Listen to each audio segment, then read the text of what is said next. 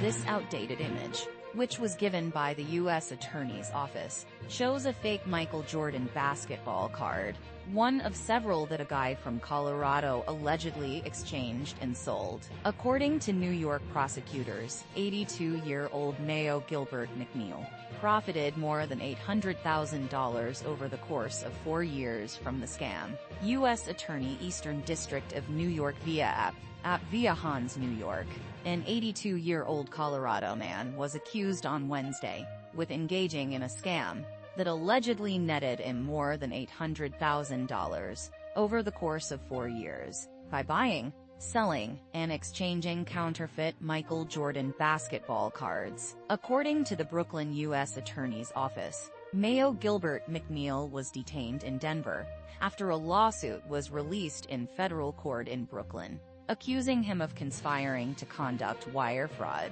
He resides there. Advertisement beginning in 2015. McNeil is alleged to have engaged in a number of deceptive transactions, including the $4,500 selling of a fake card to a victim in Manhasset, New York, in 2019, and the exchange of two fake cards for two real Tom Brady football cards in 2017.